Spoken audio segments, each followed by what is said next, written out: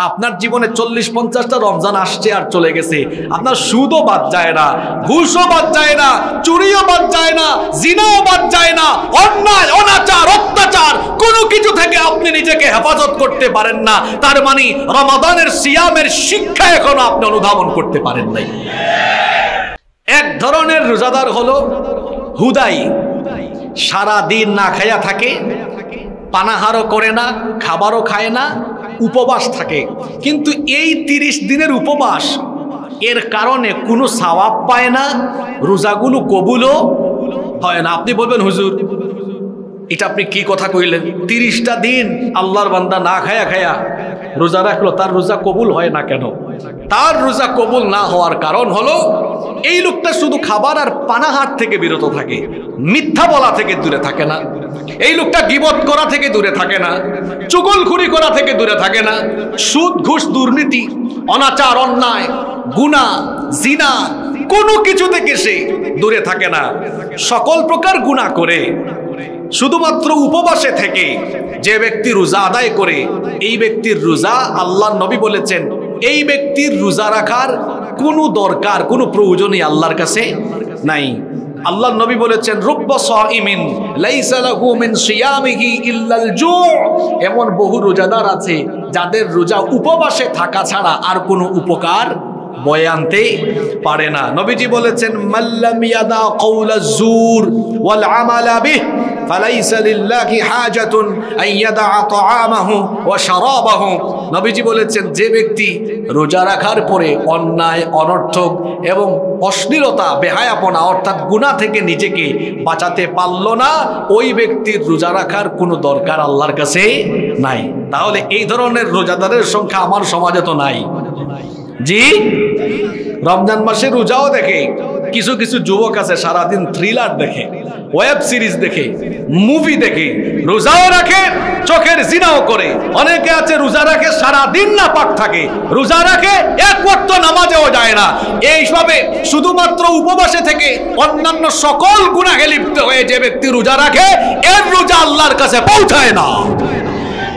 দুই নাম্বার, রোজাদার হলো, উপবাসে থাকে পানাহাট থেকে বিরত থাকে।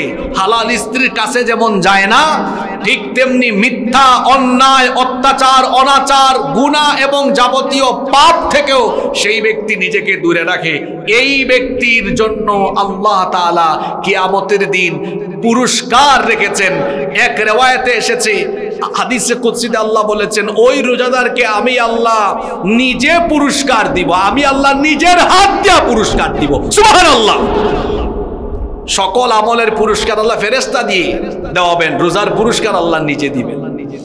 আবার ওই সকল রোজাদারদেরকে আল্লাহ এমন ভাবে মর্যাদা দিবেন, আল্লাহ নবী বলেছেন, ইন্না ফিল জান্নাতি বাবান ইউকালু লাহুর রায়্যান ইয়াদখুলু মিনহু আস-সাইমুনা ইয়াওমাল কিয়ামা। জান্নাতের মধ্যে একটি দরজা রয়েছে। সেই দরজার নাম হলো রাইয়ান।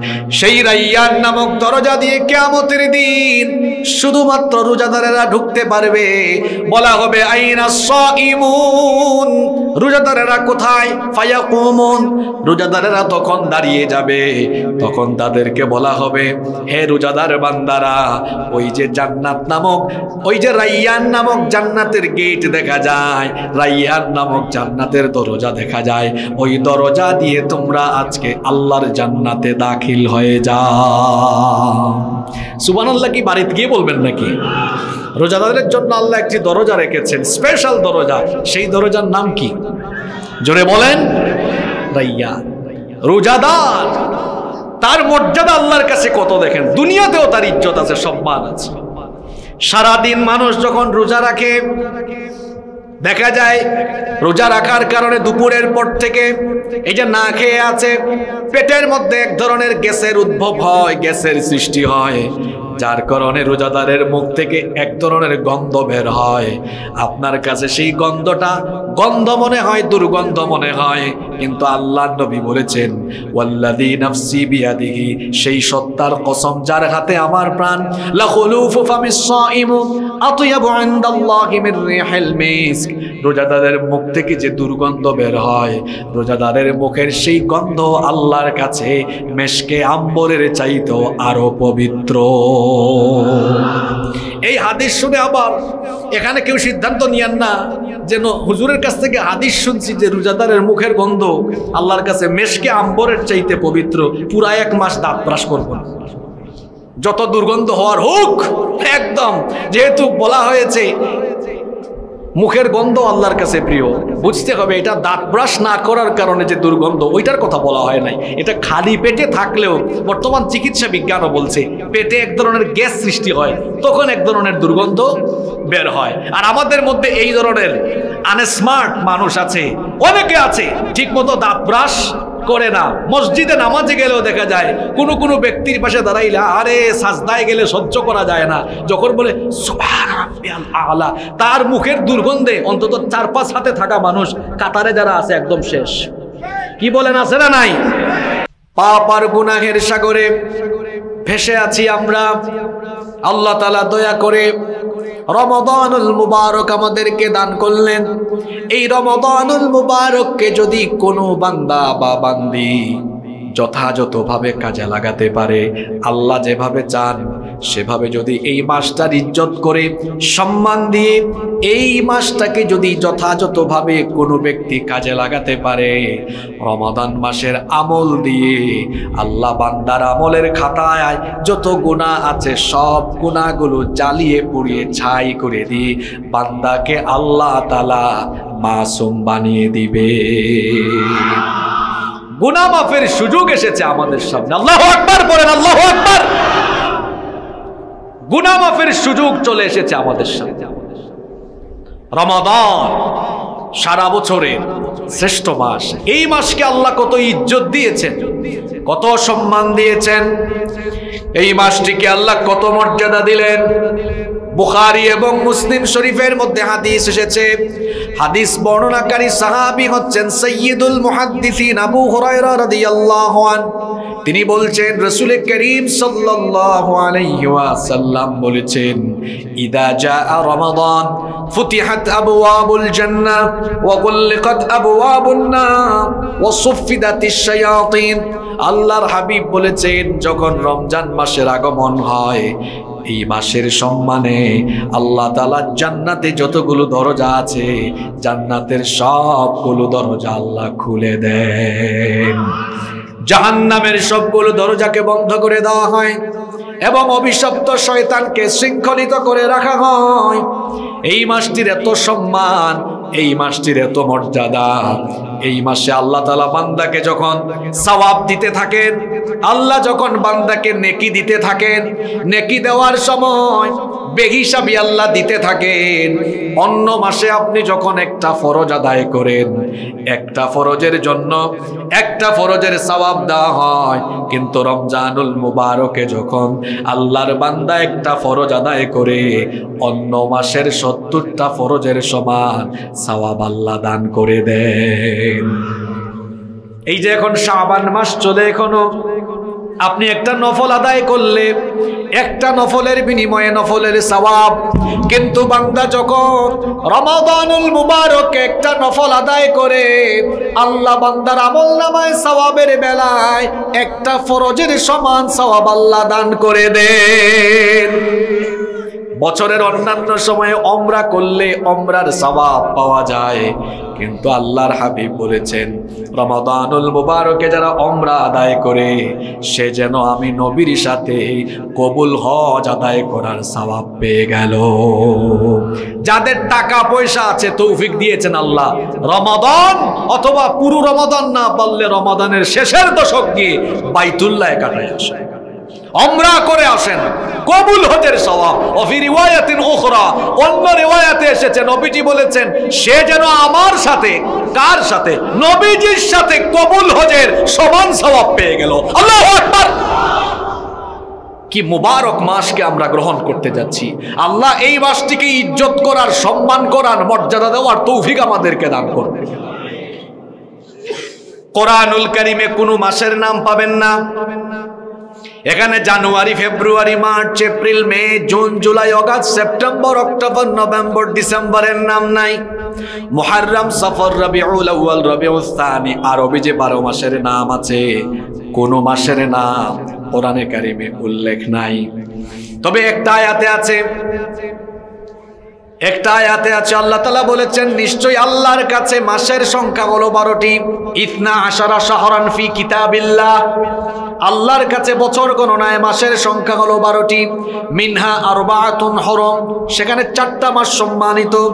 বারো আর চারের কথা বলা হয়েছে, কিন্তু কোনো মাসের নাম ধরে আল্লাহ কোরআনে কারিমে স্পেসিফিক ওই নামের উল্লেখ করেন নাই। কিন্তু আল্লাহ তালা রমজান মাসকে আমাদের সাথে পরিচয় করিয়ে দেওয়ার জন্য এই মুবারক মাসটির নাম সরাসরি কোরআনে উল্লেখ করে কোরআনের সাথে এই মাসটির সম্পর্ক দিয়েছেন আল্লাহ তালা বললেন শাহরু রমাদান أنزل فيه القرآن هدى للناس وبينات من الهدى ফুরকান। রমাদান, এটি সেই মাস, যেই মাসে কোরআনুল করিম নাজিল করা হয়েছে। এই মাসের নাম আল্লাহ তালা কোরআনুল করিমে স্পেসিফিকভাবে উল্লেখ করেছেন। সুবাহান আল্লাহ রমাদানে আল্লাহ তালা আমাদেরকে তিনটি বিশেষ হাদিয়া দান করেছে কোরআনে করিমে আল্লাহ তালাই রমা আল্লাহ তালা রমাদানে আমাদের জন্য তিনটা হাদিয়া দিয়েছেন। জোরে বলেন কয়টা? আমার দিকে তাকান, ওদিক ওদিক কি তাকান? একটু পরে প্রশ্ন শুরু হবে, কি শুনছেন আমি জিজ্ঞেস করব। রমাদানে আল্লাহ কয়টা হাদিয়া দিয়েছেন? এক, সিয়াম, দুই, কিয়াম, তিন, কোরআন। কয়টা জিনিস? সিয়াম, কিয়াম, আরেকটা কি? সিয়াম, কিয়াম, কোরআন। তিনটা জিনিস, তিনটা উদ্দেশ্যে দেওয়া হয়েছে। তিনটা জিনিস তিনটা উদ্দেশ্যে দেওয়া হয়েছে। এক নাম্বার, এই মাসে আল্লাহ সিয়াম দিয়েছেন। আল্লাহ কেন দিলেন? এগারো মাস আমরা খাইতে খাইতে আল্লাহর ধনভাণ্ডার খালি কইরা ফেলছি। এজন্য এক মাস আল্লাহ না খাওয়াইয়া আল্লাহ তার খাদ্যের ভাণ্ডারকে সমৃদ্ধ করেন। নাহুজুবিল্লাহ। এই জন্য নাকি? যে আল্লাহ এগারো মাস বন্দাকে খাওয়াতে পারেন, সে আল্লাহ রমজানেও চাইলে খাওয়াতে পারেন কি পারেন না? একবার এক ব্যাকল আমি এটা নিজের কারে শুনছি, এক এলাকায়। রোজা রাখে না, তো মুরব্বীগণ জিজ্ঞেস করলেন, কি ব্যাপার, তুমি রোজা রাখো না কেন? আমার নিজের কানে শুনছি। তো সে বলতেছে, যারা অভাবী, গরিব, যাদের ঘরে পয়সা নাই, তারা রোজা রাখে, আমি ধনী আসছি আবার সে বলতেছে, আমি আরেক কারণে রোজা রাখি না খাই। আমি যদি রোজা না রাখি, তাহলে আল্লাহ তালার যে এত পরিমাণ রিজিক আছে, রিজিকের সাথে নাফরমানি হবে। এজন্য আমি রমজান মাসে খাওয়া দাওয়া ছাড়ি না। তো রমজান মাস তো আল্লাহ না খাইয়া থাকার জন্য দেন নাই। রমজানের এই সিয়াম আল্লাহ দিয়েছেন। এই যে না খেয়ে খেয়ে উপবাসে থাকা, এর ভেতরে এক ধরনের আত্মশুদ্ধির প্রশিক্ষণ আছে এবং ওই সিয়াম ফরজেরও একটা কারণ আছে। কেন আল্লাহ তালা আমাদের জন্য সিয়ামের বিধান দিলেন? রব্বুল আলমিন কোরআনুল করিমে আমাদেরকে সেটা জানিয়ে দিলেন। খুব পরিচিত আয়াত আমাদের। কিন্তু এটার মর্মার্থ আমরা অনেকে বুঝি না। আল্লাহ তালা বললেন, কেন তোমাদেরকে সিয়ামের বিধান দিলাম? শোনো।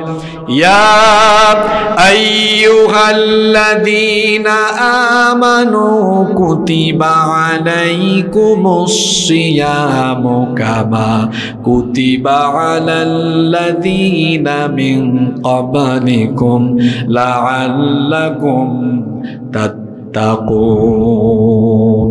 আল্লাহ বলছেন, হে বিশ্বাসীরা, তোমাদের উপরে রোজাকে ফরজ করা হয়েছে। যেমনি ভাবে তোমাদের পূর্ববর্তীদের উপরেও ফরজ করা হয়েছিল। তার মানে রোজার বিধান এই উম্মতের জন্য নতুন নয়। এটা পূর্বেকার উম্মতের জন্য ছিল। কেন দিলাম? যেন তোমরা তাকুয়াবান হতে পারো। অর্থাৎ পুরো মাস যেন তোমরা তাকুয়ার ট্রেনিং নিতে পারো। জোরে বলেন তো, কিসের ট্রেনিং?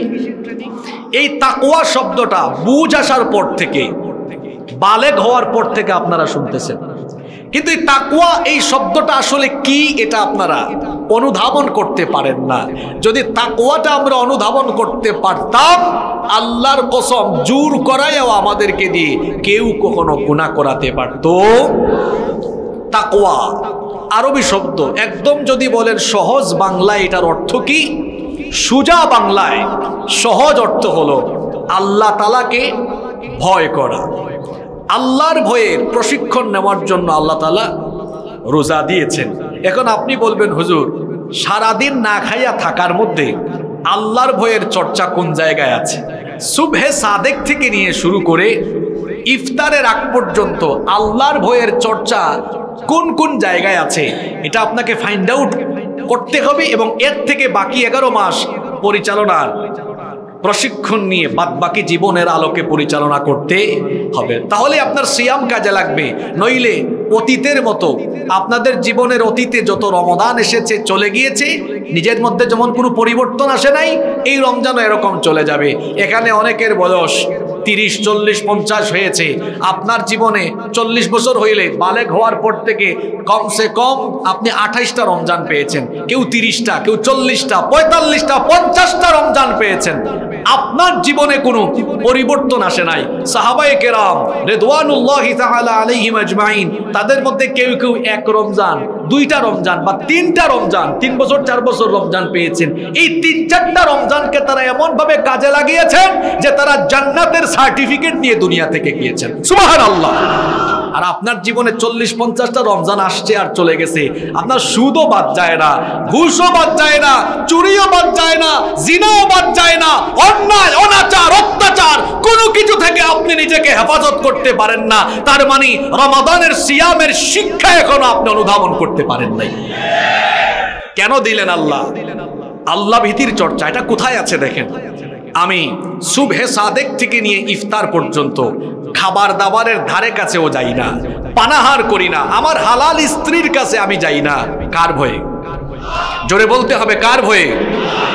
এরপরে দেখুন তো, ইফতারের আগ মুহূর্তে সারাদিন রোজা রাখার পরে এত পিপাসা লাগে। বিশেষ করে বিকেলবেলা পানির বোতল দেখলে রোজাদারের ইচ্ছে করে পানির বোতল পুরাটাই ভেতরে ঢুকায় দিয়ে। এমন হয় কি হয় না? বিশেষ করে যখন খুব গরমের দিনে রোজা পড়ে, তখন পিপাসায় মানুষ কাতর হয়ে যায়। বিকেলবেলা এত ক্ষুধা লাগে, তখন সামনে জিলাপি ঝুলা তারপর বিভিন্ন ধরনের শরবত দেখলে মনে হয় এখনই খাইয়ে ফেলে। এরকম একটা অবস্থা তৈরি হয়। ইফতারের আধা ঘণ্টা চল্লিশ মিনিট আগে যখন ইফতার সামনে থাকে, রোজাদারেরা ইফতার নিয়ে বসে। খেজুর আছে, শরবত আছে, ছোলা আছে, বিভিন্ন ধরনের মিষ্টান্ন আছে ফ্রুটস আছে, অনেক কিছু নিয়ে বসেছে। ইফতারগুলো হাত দিয়ে নাড়াচাড়া করে।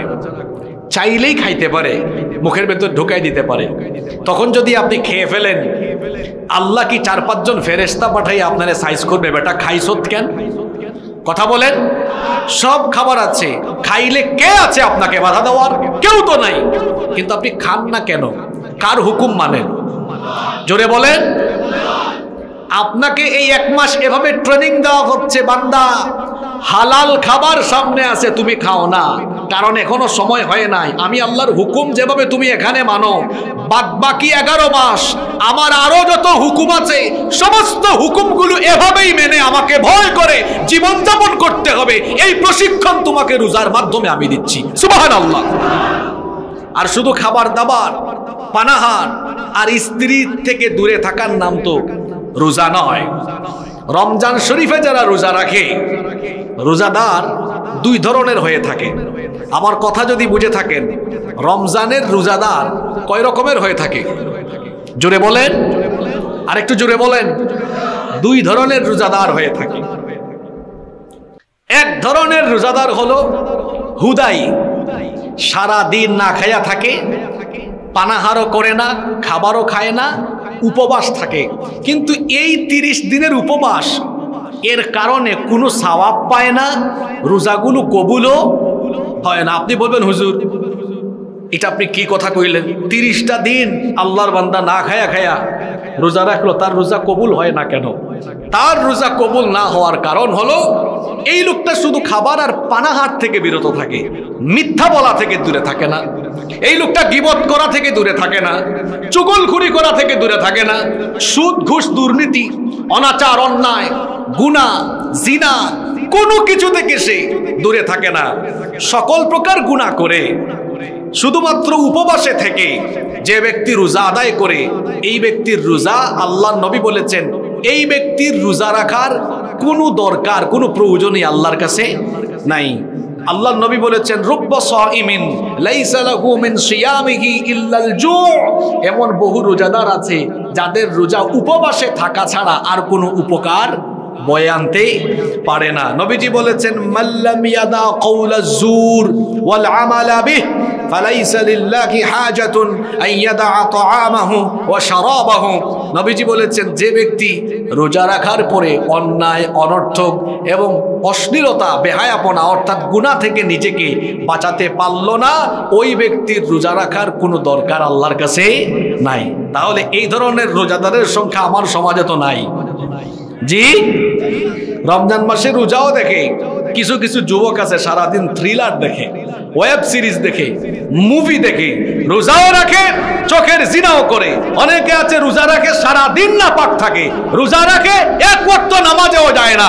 এইভাবে শুধুমাত্র উপবাসে থেকে অন্যান্য সকল গুনাহে লিপ্ত হয়ে যে ব্যক্তি রোজা রাখে, এর রোজা আল্লাহর কাছে পৌঁছায় না। দুই নাম্বার, রোজাদার হলো, উপবাসে থাকে পানাহাট থেকে বিরত থাকে। হালাল স্ত্রীর কাছে যেমন যায় না, ঠিক তেমনি মিথ্যা, অন্যায়, অত্যাচার, অনাচার, গুণা এবং যাবতীয় পাপ থেকেও সেই ব্যক্তি নিজেকে দূরে রাখে। এই ব্যক্তির জন্য আল্লাহ তাআলা কিয়ামতের দিন পুরস্কার রেখেছেন। এক রেওয়ায়তে এসেছে, হাদিসে কুদসিতে আল্লাহ বলেছেন, ওই রোজাদারকে আমি আল্লাহ নিজে পুরস্কার দিব, আমি আল্লাহ নিজের হাত দিয়া পুরস্কার দিব। সুবহানাল্লাহ। সকল আমলের পুরস্কার আল্লাহ ফেরেস্তা দিয়ে দেওয়াবেন, রোজার পুরস্কার আল্লাহ নিজে দিবেন। আবার ওই সকল রোজাদারদেরকে আল্লাহ এমন ভাবে মর্যাদা দিবেন আল্লাহ নবী বলেছেন, ইন্না ফিল জান্নাতি বাবান ইউকালু লাহুর রায়্যান ইয়াদখুলু মিনহু আস-সাইমুনা ইয়াওমাল কিয়ামা। জান্নাতের মধ্যে একটি দরজা রয়েছে। সেই দরজার নাম হলো রাইয়ান। সেই রাইয়ান নামক দরজা দিয়ে কেয়ামতের দিন শুধুমাত্র রোজাদারেরা ঢুকতে পারবে। বলা হবে, আইনা সাইমুন রোজাদারেরা কোথায়? ফায়াকুমুন। রোজাদারেরা তখন দাঁড়িয়ে যাবে। তখন তাদেরকে বলা হবে, হে রোজাদার বান্দারা, ওই যে জান্নাত নামক, ওই যে রাইয়ান নামক জান্নাতের গেট দেখা যায়। রাইয়ান নামক জান্নাতের দরজা দেখা যায়। ওই দরজা দিয়ে তোমরা আজকে আল্লাহর জান্নাতে দাখিল হয়ে যাও। সুবহানাল্লাহ কি বাড়িতে গিয়ে বলবেন নাকি? রোজাদারের জন্য আল্লাহ একটি দরজা রেখেছেন স্পেশাল দরজা। সেই দরজার নাম কি? জোরে বলেন। রাইয়া। রোজাদার, তার মর্যাদা আল্লাহর কাছে কত দেখেন? দুনিয়াতেও তার ইজ্জত আছে, সম্মান আছে। সারাদিন মানুষ যখন রোজা রাখে দেখা যায় রোজা রাখার কারণে দুপুরের পর থেকে এই যে না খেয়ে আছে, পেটের মধ্যে এক ধরনের গ্যাসের উদ্ভব হয়, গ্যাসের সৃষ্টি হয়। যার কারণে রোজাদারের মুখ থেকে এক ধরনের গন্ধ বের হয়। আপনার কাছে সেই গন্ধটা গন্ধ মনে হয়, দুর্গন্ধ মনে হয়, কিন্তু আল্লাহ নবী বলেছেন সেই সত্তার কসম যার হাতে আমার প্রাণ। মিস্ক। রোজাদারের মুখ থেকে যে দুর্গন্ধ বের হয়, রোজাদারের মুখের সেই গন্ধ আল্লাহর কাছে মেশকে আম্বরের চাইতেও আরও পবিত্র। এই হাদিস শুনে আবার এখানে কেউ সিদ্ধান্ত নিয়েন না যেন হুজুরের কাছ থেকে হাদিস শুনছি যে রোজাদারের মুখের গন্ধ আল্লাহর কাছে মেশকে আম্বরের চাইতে পবিত্র, পুরা এক মাস দাঁত ব্রাশ করব না। যত দুর্গন্ধ হওয়ার হোক, একদম, যেহেতু বলা হয়েছে মুখের গন্ধ আল্লাহর কাছে প্রিয়। বুঝতে হবে, এটা দাঁত ব্রাশ না করার কারণে যে দুর্গন্ধ, ওইটার কথা বলা হয় নাই। এটা খালি পেটে থাকলেও বর্তমান চিকিৎসা বিজ্ঞানও বলছে, পেটে এক ধরনের গ্যাস সৃষ্টি হয়, তখন এক ধরনের দুর্গন্ধ বের হয়। আর আমাদের মধ্যে এই ধরনের আনস্মার্ট মানুষ আছে, অনেকে আছে ঠিক মতো দাঁত ব্রাশ করে না। মসজিদে নামাজে গেলেও দেখা যায়, কোন কোন ব্যক্তির পাশে দাঁড়াইলে আরে সাজদায় গেলে সহ্য করা যায় না। যখন বলে আলা তার মুখের দুর্গন্ধে অন্তত চার পাঁচ হাতে থাকা মানুষ কাতারে যারা আছে একদম শেষ। কি বলেন, আছে না নাই? অপরিচ্ছন্নতা আপনাকে কে শিখালো? আমার দেশে অনেক হুজুরও আছে, অপরিচ্ছন্ন থাকে, খবরদার অপরিচ্ছন্ন থাকা। এটা ইসলামের শিক্ষা নয়। আল্লাহ নবী বলেছেন আত্মহুর শাত্রুল ইমান পবিত্রতা ইমানের অঙ্গ। আমার নবী কত পরিচ্ছন্ন থাকতেন। আমরা তো দাঁত ব্রাশ করি মাত্র দুইবার। আর আমার নবী এত স্মার্ট ছিলেন, তিনি মেসওয়াক করতেন মোট সাতবার। আল্লাহ পড়বেন না? কে বেশি স্মার্ট, আপনারা না আল্লাহ নবী? বলবেন, হুজুর, সাতবার কই পাইছেন? হিসাবটা দেন। পাঁচ ওয়াক্ত নামাজের আগে হইল কয়বার? পাঁচবার। আর আম্মাজান আইসা রাদি আল্লাহ আনহা থেকে হাদিস এসেছে। তিনি বলেছেন, নবীজি ঘুমাতে যাওয়ার আগে মেসওয়াক করে ঘুমাতেন। ঘুমের থেকে উঠেও হাতের মধ্যে মিসওয়াক নিতেন। সোমান আল্লাহ পড়েন। এই জন্য সবাই পকেটে, এই যে দেখেন আমার কাছেও আছে, এটার নাম কি? মিসওয়াক রাখবেন, মিসওয়াক ব্যবহার করবেন প্রত্যেকের পকেটে যেন মিসওয়াক থাকে, যারা মিসওয়াক ব্যবহারকারী, এদের মুখে কখনো দুর্গন্ধ হয়? যারা মেসওয়াক করে না, দেখা যায় এদের মুখে দুর্গন্ধ থাকে, এদের বউও দূর করে যা আমার সামনে মেসওয়াক করবেন, পকেটে একটা মেসওয়াক রেখে দিবেন, নামাজের আগে বিড়িও তো খায়। আর পৃথিবীতে একমাত্র খাদ্য হলো এই জিনিসটা, যার গায়ে লেখা, আমি ভালো না, আমারে খাইস না। এরপরও পাবলিক খায়। কি লেখা আছে না? ধূমপানের কারণে স্ট্রোক হয়। এখন তো অনেকে আমারে মনে মনে বলতেছে, হুজুর, এতগুলা বিষয় থি এই বিষয়ে কেন কথা বললেন আপনি? তো এটা কি অসত্য কোনো কথা? তো তো গায়ে লেখা, আমি খারাপ, আমারে খাইও না। এরপর আপনি খান কেন? লিখাই আছে, এটার কারণে ক্যান্সার হয়। অনেকের স্ত্রী তাকে এই জন্য পছন্দ করে না, আর সিগারেট খুর কোনো স্বামীকে তার বউ পছন্দ করে না। এটা ছেড়ে দেন। এটা ছেড়ে দেন। এটা এই অভ্যাস বানানোর কারণে আপনার ভেতরের অনেক ক্ষতি হয়ে যাচ্ছে। ঠোঁটগুলো নষ্ট হয়ে যাচ্ছে, দাঁত নষ্ট হয়ে যাচ্ছে। ভেতরে যত কলকবজা আছে সব শেষ হয়ে যাচ্ছে। মিসওয়াক করবেন, মিসওয়াক হচ্ছে আল্লাহ নবীর এমন এক গুরুত্বপূর্ণ আমল। আমার তো একটা ঘটনা মনে পড়ে গেল। বলব? আল্লাহর নবীর জীবনের শেষ আমল ছিল মিসওয়াক। মিসওয়াক করতে করতে আল্লাহর নবী আল্লাহর সাথে মোলাকাত করেছেন সুবাহান আল্লাহ কি আমল চিন্তা করেছেন? আল্লাহর নবী একেবারে মুমূর্ষ অবস্থায়। তিনি যখন যেদিন দুনিয়া থেকে চলে যাচ্ছেন অত্যন্ত দুর্বল বিছানা থেকে উঠতে পারেন না। আম্মা জান আয়েশা রাদিয়াল্লাহু আনহাকে নবীজি বললেন, ও আয়েশা, আমাকে একটা মিসওয়াকের ব্যবস্থা করে দাও। আমি একটু মিসওয়াক করতে চাই। আম্মা জান আয়েশা রাদিয়াল্লাহু আনহা একটা মিসওয়াক আনালেন। আমরা যারা মিসওয়াক ব্যবহার করি সবাই জানেন মিসওয়াকের মাথাটা শক্ত না নরম। হুম? না না, এটাকে ওপেন করার আগে শক্ত থাকে না? একটু কামড়াইয়া এটাকে কি করতে হয়? নরম করতে হয়। তো আল্লাহর নবী দুর্বল, সেই অবস্থায় মিসওয়াক এর মাথাটা কীভাবে কামড়াবেন? আম্মা জান আয়েশা রাদিয়াল্লাহু আনহা বললেন, নবী গো, আমি একটু এটা চাবায়া দেই কামড়ায়া দেই। আম্মা জান আয়েশা রাদিয়াল্লাহু আনহা মিসওয়াকের মাথাটা কামড়ালেন চাবায়া দিলেন। ওই যে মিসওয়াকের মাথাটা চাবায়া দিলেন, সেখানে আম্মা জানের থুতু অর্থাৎ লালা লেগে গেল।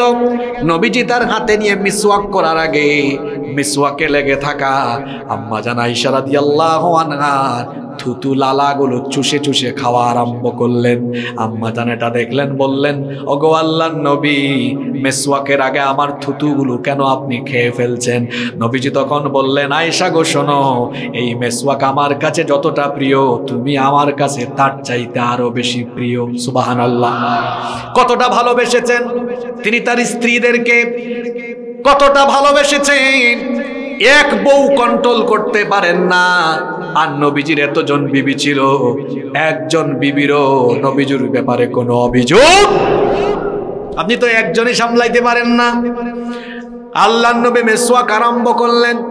আম্মা জানা আইসা রাদিয়াল্লাহু আনহা বলেছেন, আমার কোলে মাথা রেখে আল্লাহ নবী মেসওয়াক করে করে ওই অবস্থায় দুনিয়া থেকে চলে গিয়েছেন। সুবহানাল্লাহ। মেসওয়াক ছিল নবীজির পছন্দের আমল। মেসওয়াক করে করে তিনি দুনিয়া থেকে চলে গিয়েছেন। ওই মেসওয়াকের সুন্নতটাও ভালোবেসে আমরাও যদি পালন করি, আহারে এমনও তো হতে পারে এই একটা সুন্নতের কারণে আল্লাহ নবীর সুপারিশ আমাদের জন্য হয়ে যেতে।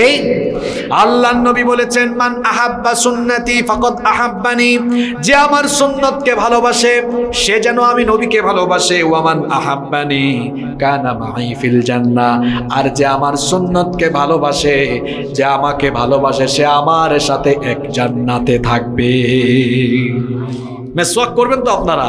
ওই মেসওয়াকের কাহিনী থেকে আসছে, মনে আছে? ওই মুখের দুর্গন্ধ। একটু মসজিদে ঢোকার আগে মেসওয়াক করে যাইয়েন নইলে আপনার মুখের দুর্গন্ধে এই সাত, আট ফুটের মধ্যে যারা কাতারে দাঁড়ায় টিকতে পারে না। কি বলেন, এরকম মুসল্লি আছে না নাই? আমার বিড়ি ঘুর, সিগারেট ঘুরলা ঠিক মতো কুলি না করে মসজিদে ঢুকে। আরে বাপরে বাপ, এটা জুমার দিনে বেশি হয়। তার বিড়ির গন্ধে, সিগারেটের গন্ধে আশপাশের মানুষের অবস্থা খারাপ হয়ে যায়, ঠিক কি না?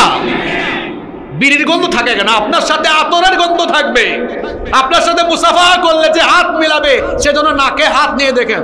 সুবহান আল্লাহ আতরের গ্রান আপনার সাথে বুক মিলালে যেন আতরের গ্রান পায়। আল্লাহ নবী আতর পছন্দ করতেন। বিড়ি, সিগারেট কেন আপনি পছন্দ এটা কোন রুচির মানুষ আপনি আমাকে? এটাতে ভালো কোনো গন্ধ আছে? আতর ইউজ করেন। আতর লাগান, মিসওয়াক করেন। মিসওয়াক করলে মুখে গন্ধ থাকে না। আতল লাগালে কাপড়ে শরীরে কোনো গন্ধ থাকে না, দুর্গন্ধ থাকে না। আল্লাহ নবী আতর পছন্দ করতেন। আপনারা আতল লাগান হাতের এখানে আর আল্লাহ নবী আতর লাগাতেন হাতের এই জায়গায়। যাতে করে মুসাফা করলে কারও সাথে তার হাতেও আতরের সুগন্ধ চলে যায়। আতর ব্যবহার করবেন, কাপড়েও একটু আতর লাগাবেন, মসজিদে যাওয়ার সময় আতর লাগাবেন, এমনিতেও আতর লাগাবেন, বিড়ি সিগারেটের গন্ধ যেন আপনার সাথে না থাকে। বলছিলাম রোজাদারের মর্যাদার কথা, রমজানে কয়টা হাদিয়া? জোরে বলেন, এই হাদিয়া কার জন্য? আপনার জন্য, কার জন্য? এক নাম্বার, সিয়াম আল্লাহ দিয়েছেন। কিসের জন্য? আল্লাহকে ভয় করার প্রশিক্ষণ নেওয়ার জন্য। এই যে ইফতার সামনে আছে, আপনারা খান না, কার ভয়ে? জোরে বলেন, হালাল স্ত্রী রোজা থাকার সময় শুভে সাদেক থেকে নিয়ে ইফতার পর্যন্ত তার স্ত্রীর সাথে ফিজিক্যাল এন্টার করছেও যায় না। কার ভয়ে? ওই আল্লাহর ভয়ে জিনা থেকে, মানুষের হক খাওয়া থেকে, গুনাহ থেকে বেঁচে থাকবেন বাকি এগারোটা মাস। এই প্রশিক্ষণ আল্লাহ রোজার মাধ্যমে দিচ্ছেন। সুবান আল্লাহ আপনারা আল্লাহকে ভয় করেন তো? তো ভয় করলে নামাজে আজান আজান হলে নামাজে যান না কেন? আল্লাহকে ভয় করলে সুদ খান কেন? ঘুষ খান কেন? আল্লাহকে ভয় করলে জিনা করেন কেন? আল্লাহকে ভয় করলে আলগা পয়সা দুর্নীতি করে খান কেন? আল্লাহকে ভয় করলে মানুষের নামে মিথ্যা মামলা দেন কেন? আল্লাহকে ভয় করলে আলেমদেরকে বেজ্জত করেন কেন? আল্লাহকে ভয় করলে কোরআনওয়ালা মানুষদেরকে এলাকা ছাড়া করে দেন কেন? এটা কেমন আল্লাহর ভয়? এটা কেমন আল্লাহর ভয় আমাকে বলেন? আল্লাহকে ভয় করার মানে হলো, আল্লাহকে ভয় করার অর্থ হলো গুলামের মতো আনুগত্যের মস্তক অবনত করে তার প্রত্যেকটি বিধান মেনে নেওয়া। এর নাম আল্লাহর ভয়। এর নাম কার ভয়? আল্লাহর ভয়। আল্লাহকে কেন ভয় করবেন? কারণ কেউ যেটা দেখে না, সেটা দেখেন কি? কেউ যেটা শুনেন না, সেটা শুনেন কি? আপনি আপনার বেডরুমে দরজা লক করে দিয়েছেন, বাবা মা, ভাই, বোন, কেউ এখন রুমে নাই। আপনার হাতে স্মার্টফোন আছে, চাইলে আপনি পর্নোগ্রাফিতে গিয়ে, আপনি পর্ন সাইটে গিয়ে পর্নোগ্রাফি দেখতে পারবেন। আপনি চাইলে আজে বাজে কোনো ভিডিও দেখতে পারবেন। কোনো বাধা নাই, কোনো মানাও নাই, কেউ দেখবে না, কেউ জানবে না। কিন্তু আপনার এই একা রুমের ভেতরে আপনার কার্যক্রম। কেউ না দেখলেও, না জানলেও, যিনি সব কিছু জানেন তিনি কে?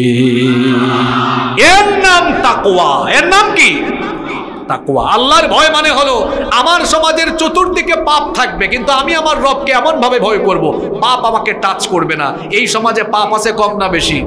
সামনেও পাপ, পিছনেও পাপ, ডানেও পাপ, বামেও কিন্তু এই পাপে পরিপূর্ণ সমাজে আমি কীভাবে থাকব? ওই যে প্রায় সময় আমরা উদাহরণ দিই, অনেক আলেমরাও বলেন বাইমাস চিনেন তো আপনারা? By mass. বাইমাস বাইমাস থাকে কোথায়? কাদার মধ্যে। দেখবেন পুটি মাছ টেংরা মাছ, শোল মাছ, বোয়াল মাছ ঘুলা পানিতে থাকে। এটা বের করে যখন মাছ রাখার পাত্রকে আপনারা খলই না খালই বলেন? না ঠুঙ্গা বলেন? কি বলেন? খালোই না? আচ্ছা পুঁটি মাছ, ট্যাংরা মাছ, শোল মাছ বা অন্যান্য যে কোনো মাছ ঘোলা পানিতে থাকে খালইয়ে রাখলে দেখবেন কিছু না কিছু কাদা ময়লা তার শরীরে আছে আর বাইম মাছ একদম কাদার ভিতরে থাকে। তাকে ওখান থেকে টেনে বের করে যখন খালইয়ে রাখবেন, দেখবেন তার গায়ে কোনো ময়লা নাই। ও আল্লাহর বান্দারা, আপনারা এই পাপ আর গুনাহে ভরা সমাজের মধ্যে বাইম মাছের মতো আপনারা আল্লাহকে ভয় করে থাকবেন। ডানে বামে, সামনে, পিছনে, সুদ, ঘুষ, অন্যায়, অত্যাচার, জিনা ব্যবিচার দুর্নীতি, লুটপাট, গুনাহের আখড়ার মধ্যে বসবাস করেও আল্লাহকে ভয় করে চব্বিশ ঘণ্টা এমন ভাবে জীবন করবেন, চতুর্দিকে পাপ থাকবে, আমাকে কোনো পাপ স্পর্শ করবে না। এর নাম তাকুয়া এর নাম কি? এই তাকুয়া অর্জনের ট্রেনিং, প্রশিক্ষণ চলবে রমজান মাসে রোজার মাধ্যমে। কিসের মাধ্যমে? জোরে বলেন, কিসের মাধ্যমে? যুবক ছেলেরা, শোনো, যারা হারাম রিলেশন করো, সংশোধন হওয়ার বয়স হলো রমজান মাস। কারণ দেখা যায় যে ছেলেটা হারাম সম্পর্ক করে, রমজানের আগে তার গার্লফ্রেন্ডকে বলে, অগ, শোনো, কি? রমজান মাস এসেছে, আমি কিন্তু তোমার মতো আগের সাথে এত কথা বলতে পারব না। বললে ইফতারের পরে। দেখছেন কি কার বাড়ি কই, ইফতারের পরে বলব, দিনের বেলা বললে রোজা ভাঙবে। তো যে সকল ছেলেরা এই রকম গুনাহে লিপ্ত, তোমার জন্য সংশোধন হওয়ার উত্তম সময় হলো রমজান মাস। এই যে শুভে সাদেক থেকে নিয়ে শুরু করে ইফতারের আগ পর্যন্ত লম্বা একটা সময়, রোজার সম্মানে তুমি যেভাবে একটা মেয়ের সাথে কথা বলো না। আরে ভাই, বারো ঘণ্টা, চোদ্দ ঘণ্টা যদি কথা না বলে থাকতে পারো, তাহলে বাদ বাকি আট দশ ঘন্টাও কথা না বলে থাকা। যাবে কি যাবে না। আ, যারা সিগারেট খান, সিগারেট ছেড়ে দেওয়ার একটা সুন্দর প্রশিক্ষণ আছে রমজান মাসে। আছে না? দেখবেন কিছু কিছু লোক আছে, তারা প্রত্যেক দিন এক প্যাকেট খায়া ফেলে। কি জিনিস আপনারা চিন্তা করছেন? একবার আমি একজনকে পাইছে, কয়, হুজুর, আমার তিন প্যাকেট লাগে। আমি বললাম, ভাই, আপনি জিনিস এক খান। কয় প্যাকেট? তিন প্যাকেট। আহারে, যারা ধূমপান করে, এরা অযথা পয়সা নষ্ট করে, এই পয়সাগুলো বাঁচানো গেলে এগুলো পরিবারের কাজেও লাগানো যাবে, শোনেন, আমার কথা কি কষ্ট পাচ্ছেন? এরকম অভ্যাসের কেউ কেউ থাকতে পারে। প্লিজ, রাগ করেন না, আমি আপনাকে আদর করে বুঝাচ্ছি। এই যে ধূমপানের অভ্যাস ছেড়ে দেওয়ার একটা সুন্দর সুযোগ আসতেছে রমজান মাসে, যতই সিগারেটের প্রতি নেশা থাকুক না কেন, আপনি সাহারি থেকে ইফতার পর্যন্ত না খাইয়া থাকতেই, তবে আমি অনেককে দেখেছি, ইফতারের সময় একটুক পানি খাইয়া কয়, আমি আসতেছি। এখন আমি এক ইফতার মাহফিলে গিয়েছি গত বছর। এক লোক পানি খেয়ে মারছে দৌড় খেজুর একটা খায়া। আমি বললাম, ভাই, কি হয়েছে? আমি আসতেছি আমি আসতেছি। একটু পরে যে জায়গায় চিপার মধ্যে গেছে, দেখলাম ধুয়া উড়ে। আমি বললাম, কি ব্যাপার, আগুন লাগছে নাকি এখানে? কয়, না, আগুন লাগাইছে, আগুন লাগে নাই। আগুন লাগাইছে, আগুন লাগে নাই। বললাম, বুঝি নাই, একটু বুঝাই বলেন। কয়, গিয়ে আগুন ধরেছে টানে। কি করে? তো এই যে লম্বা একটা সময় আপনি সিগারেট খাইলেন না, রাগ করেন না, এই তো আপনি ছেড়ে দিতে পারবেন। আপনি এক কাজ করেন, এতদিন খাইছেন তো, একবারে ছাড়তে পারবেন না। আসেন, এভাবে একটা প্ল্যান নেন। যে যেহেতু একটা সুযোগ পাইছি রমজান মাসে, আগে খাইতাম দিনে এক প্যাকেট। এখন আমি প্রথম প্লাস রমজান ট্রাই করব যে ইফতার থেকে নিয়ে সাহারির আগ পর্যন্ত বেশি হলে চার পাঁচটা খাব। কয়টা? চার পাঁচটা খান। পাঁচ থেকে দশ রমজানের টার্গেট নেন। ইফতার থেকে সাহারি পর্যন্ত দুইটা খাবেন। দশ থেকে পনেরো ট্রাই করেন, একটা খাবেন। পনেরো থেকে বাকি পনেরো দিন চেষ্টা করেন, একটাও খাব না। দেখবেন রমজানের পরে এই ধূমপানের কুঅভ্যাস একদম ছেড়ে দিতে পারবেন, ইনশাআল্লাহ। সুদখুরটা সুদখুররা কি করবে? রমজান মাসে বড় কায়দা করে সুদ খায়। সুদের টাকা যাদেরকে দিয়েছে দিনের বেলা আইসো না আমি কিন্তু রোজাদার। আমার দেশে মসজিদের সামনের কাতারের বহু নামাজি আছে, যারা এলাকার টাটকা টাটকা সুদখুর। এরা মসজিদেও থাকে সামনের কাতারে, এলাকার সুদখুরদের তালিকা হলে তাও থাকবে ওখানে সামনের কাতারে। তো ওই সুদখুরদেরও ভালো হওয়ার একটা সুযোগ আছে। কয়, দিনের বেলা আসিও না, রাতের বেলা আসিও। যারা ঘুষ টুস খায়, অফিসে দিনের বেলা ঘুষ নিয়ে এ তুমি অসময়ে এসেছ, এখন আসছো কেন? আচ্ছা এসেছোই যেহেতু, আবার রমজানে ঘুষ পড়ে না। কয়, হাদিয়াগুলা, তোমার হাতে তুমি ড্রয়ারে রেখে যাও, ইফতারের পর আমি বান্ডেল খুলবো। তো এই যে সুদখুর হোক, ঘুষখুর হোক, একটু হলেও তো রোজাকে ইজ্জত দিচ্ছে, এই জিনিসটাকে যদি সে হৃদয়ঙ্গম করে, পরিপূর্ণ সম্মান দিতে গিয়ে তার পাপ থেকে গুণা থেকে নিজে বেঁচে থাকার চেষ্টা করে, ইনশাআল্লাহ এক মাসের প্রশিক্ষণ কোর্সের মাধ্যমে সে আল্লাহওয়ালা, মুত্তাকি, পরহেজগার, আত্মশুদ্ধির মাধ্যমে নিজেকে টাটকা ইমানদার বানানোর সুযোগ পাবে, আলহামদুলিল্লাহ পড়ে তাহলে রমজানে হাদিয়া কয়টা? জোরে বলেন কয়টা? এক নাম্বার সিয়াম, উদ্দেশ্য আমাদেরকে আল্লাহওয়ালা বানানো। দুই নম্বর, রমজানে আরেকটা জিনিস আল্লাহ দিয়েছেন, এটা কি? জোরে বলেন। এটা হলো শ্রেষ্ঠ হাদিয়া। প্রধান এমপি সাহেব না? আচ্ছা প্রধান অতিথি আজকের প্রধান অতিথি, জননেতা হক বাবুল, মাননীয় সংসদ সদস্য যশোর চার, তিনি এসেছেন। আমরা তাকে আজকের এই তাফসির মাহফিলের পক্ষ থেকে মোবারকবাদ জানাচ্ছি। আহলান ও সাহলান ও মরহাবান বিক। এবং আমরা দোয়া করছি, তিনি ব্যস্ততার মধ্যেও কোরআনের এই মাহফিলে এসেছেন। আল্লাহ তালা যেন তাকে কোরআনের জন্য, দিন ইসলামের খেদমতের জন্য কবুল করে নেন। আমরা সকলে বলি আমিন। আল্লাহ যেন তাকে সুস্বাস্থ্য দান করেন। জনগণের খেদমতের জন্য যে যোগ্যতা, দক্ষতা, প্রজ্ঞা, আমানতদারিতা এবং স্বচ্ছতার গুণাবলী প্রয়োজন, সকল গুণে আল্লাহ যেন তাকে গুণান্বিত করে দেন, আমরা সবাই বলি আমিন। আপনারা কি আছেন নাকি ঘুমাই গেছেন? রাত হইলেও না হয় ঘুমাই যেতেন দিনের বেলা তো ঘুমানোর কোনো সুযোগ নাই। সবাই দুপুরে খেয়েছেন তো? কারা কারা খাই আসেন নাই? আহারে, কয়েকজন আছে। তো না খাই আসলেও তো এখানে খাওয়ানোর কোনো ব্যবস্থা নাই। তো বলছিলাম রমাদানে আমাদের জন্য হাদিয়া কয়টা? জোরে বলেন। এক নাম্বার সিয়াম দুই নম্বর কোরআনের কথা বলছি এখানে। কিয়ামটা একটু আমি শেষে নিয়ে আসব। কোরআন আল্লাহ দিয়েছেন। এই মাসে আল্লাহ কোরআন নাজিল করেছেন। নবীজির কাছে হেরা গুহায় কোরআন নাজিল হয়েছে। কোন মাসে? রমাদানের লাইলাতুল লাইলাতুল কদরে। এই যে আল্লাহ তালা কোরআন আমাদেরকে দিয়েছেন। এটা হচ্ছে রমজানের শ্রেষ্ঠতম হাদিয়া। শুধু রমজানের শ্রেষ্ঠতম হাদিয়া নয়, এটা হচ্ছে আমাদের জীবনের সবচাইতে বড় নিয়ামত। কারণ আল্লাহ যদি আমাদেরকে দয়া করে এই কোরআন না দিতেন তাহলে আমরা গুমরাগির সাগরে নিমজ্জিত থাকতাম। আলাইকুম। ভালো আসেন আসেন আসেন। আসেন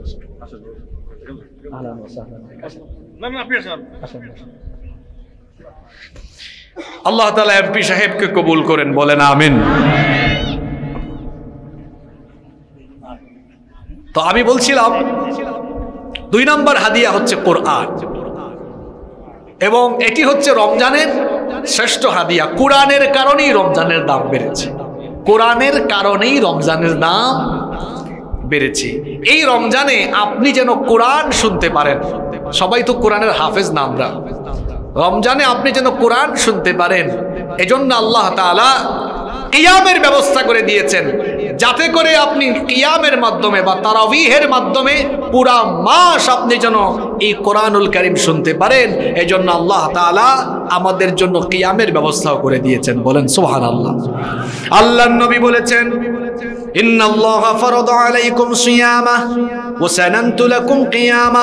নিশ্চয়ই আল্লাহ তোমাদের জন্য রমজানের রোজা ফরজ করেছেন, আর আমি তোমাদের জন্য। কিয়ামের ব্যবস্থা করেছি। ফামান সামাহু ওয়ামান ফামান সামাহু ওয়া কামাহু ঈমানান ওয়া ইহতিসাবান, গুফিরা লাহু মা তাকদ্দামা মিন দামবি।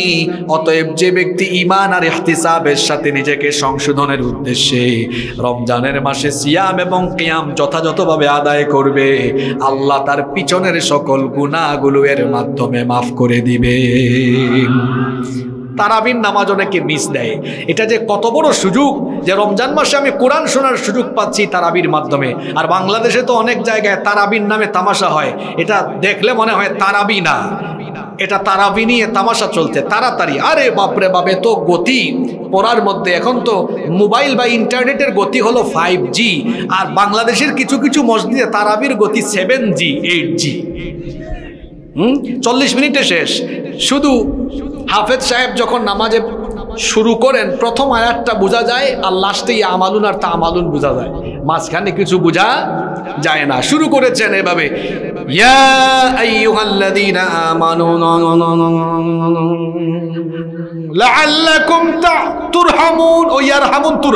ওগুলো বোঝা যায় লাস্টে গিয়ে। মাঝখানে কিছু বোঝা যায় না। ওয়া ইন্না কোরআন নাজিলের মাসে, কোরআনের সাথে তামাশা। আল্লাহু আকবার। আপনার কি আল্লাহর ভয় অন্তরে একটুও পয়দা হয় না। এটা কেমন তামাশা?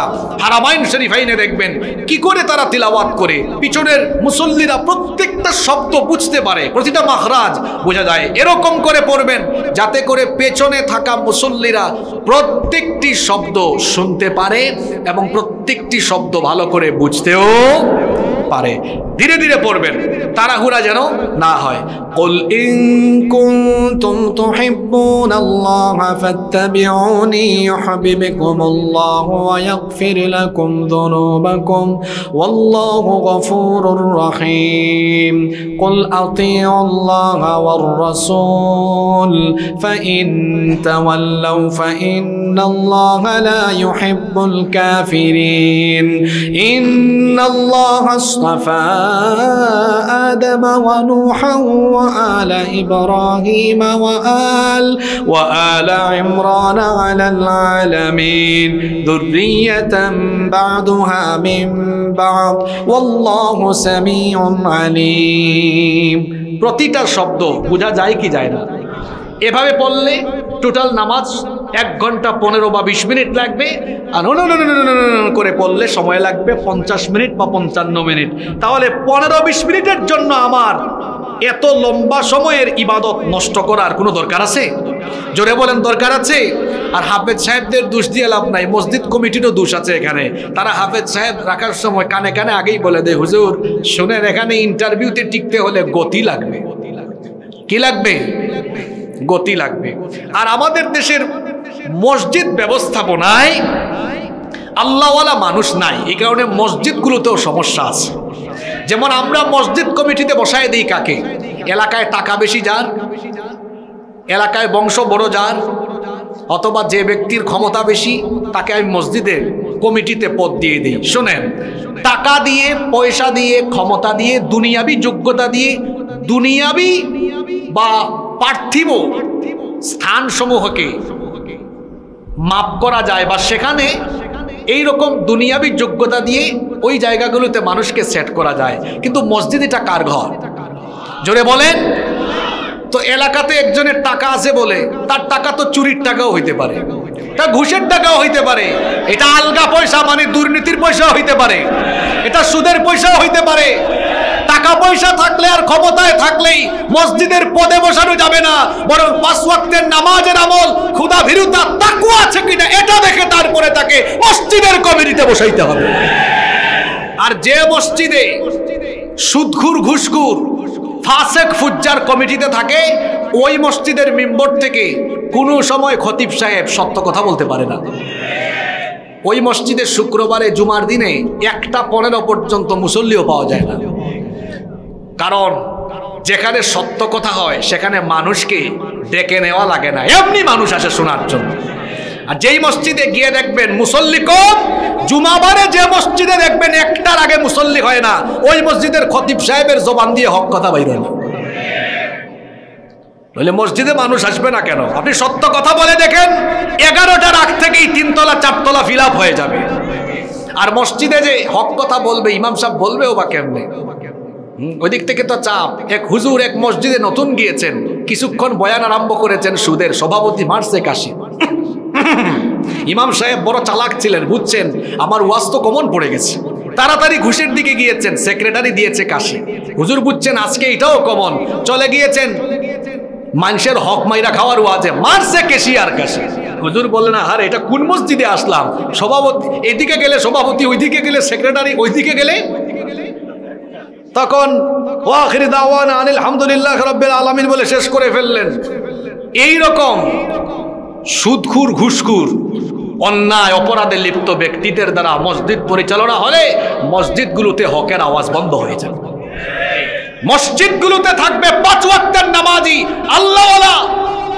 আল্লাহ আর আল্লাহ রসুল এবং আখিরাতের প্রতি জবাবদিহিতার অনুভূতি যাদের আছে, এই ধরনের লোকগুলো দ্বারা মসজিদের ব্যবস্থাপনা যদি হয়, মসজিদ কমিটি যদি চলে, ওই মসজিদগুলোতে সত্যিকার অর্থে দিনের খেদমত হবে। আল্লাহ বুঝার তৌফিক দান করেন। সম্মানিত ভাইয়েরা, আমি বলছিলাম, কোরআনের মাসে আপনি যেন কোরআন শুনতে পারেন, আল্লাহ তারাবিহের ব্যবস্থা করে দিয়েছেন। এই তারাবা আপনারা তামাশা করবেন না। গতকাল ফেসবুকে একটা ভিডিও দেখলাম।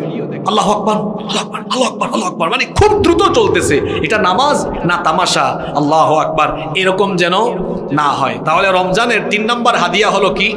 কোরআন। এই কোরআনের মাসে আপনি কোরআন যেন শুনতে পারেন, তারাবিহের ব্যবস্থা করে দেওয়া হয়েছে। সবাই তারাবিহের নামাজে যাবেন তো? আর যুবকরা কি করে? তারা তারাবিহের নামাজে গিয়ে তারা মোবাইলে ফেসবুক চালায়। হুম? ফেসবুক চালায়। দেখবেন অনেক মসজিদে এই চিত্র আছে। কারণ সে জানে তারাবিহের নামাজ খতবে তারাবি চলছে। হুজুর কমপক্ষে দশ মিনিট তেলাওয়াত করবে। এজন্য সে হেলান দিয়া বসা থাকে। হুজুর যখন আল্লাহ আকবার বলে যায়, মোবাইল তখন তাড়াতাড়ি করে পকেটে ঢুকে যায়, আল্লাহ আকবার। কে বলেন, এরকম আছে?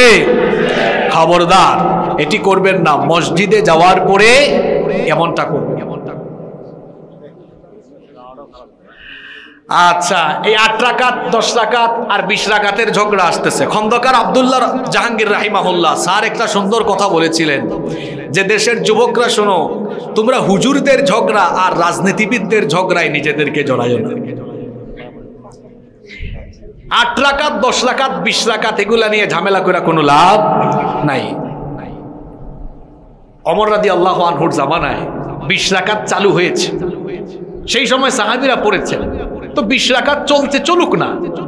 এটা নিয়ে এত বেশি ঝামেলা করিয়া লাভ নাই। আবার কোনো এলাকায় যদি দেখা যায়, তারা ওই এলাকার সবাই মিলে সম্মত আমরা দশ রাকাত লম্বা করে পড়ব ওরাও পড়ুক অর্থাৎ আমরা যেন আমাদের মধ্যে ফাটল সৃষ্টি না করি। গত এক মাস ধরে এত কষ্ট লাগতেছে।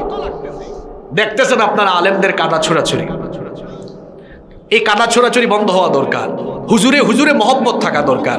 বক্তৃতার সময়, ও হুজুর কাফের, ওই হুজুর এটা। ফাসেক এটা না বলে কমিটি যে এক ঘণ্টা সময় দিয়েছে, এই এক ঘণ্টা মানুষকে ইমান এর গুরুত্ব বোঝান, মানুষকে আমল বোঝান, কীভাবে উম্মতকে এক রাখা যায়।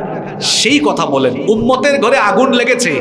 আপনি সেখানে কেরোসিন ঢালিয়া আরও আগুন বাড়াইয়া দিয়েন না, বরং পানি ঢালার চেষ্টা করেন। আল্লাহ আমাদেরকে কথাগুলো বুঝবার তৌফিক দান করেন। বলেন, আমেন। আমি সংক্ষেপে এবার বলছি এই রমাদানকে আপনারা জীবনের শ্রেষ্ঠ রমজান হিসাবে কাজে লাগানোর জন্য এই রমজানে অবশ্যই আপনারা দশটা কাজ করবেন ইনশাল্লাহ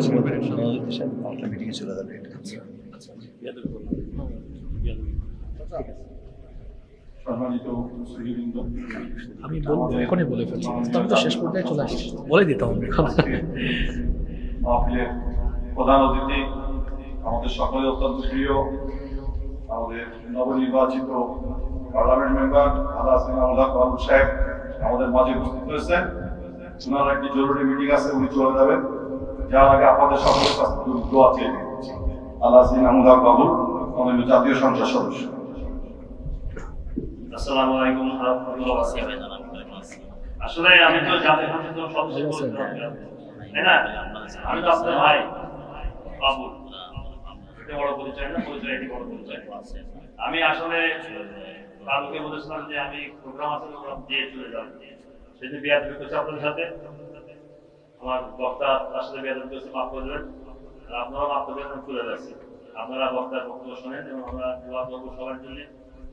আমার জন্য দোয়া করেন আমরা উনি যা বলেন না আমলে আনতে পারি। আমাদের তো আমলে আনা কঠিন হয়ে যায়। আমরা জানি কিন্তু মানি না। আর মানলে তেমন ভাবে মানি না আমরা করতে মনটাকে সেইভাবে আনো আমরা আমরা আমরা আর বলতে স্বীকার করতে যে আপনারা আমাদের বছর আগে অনেক দোয়া করে অনেক দোয়া করে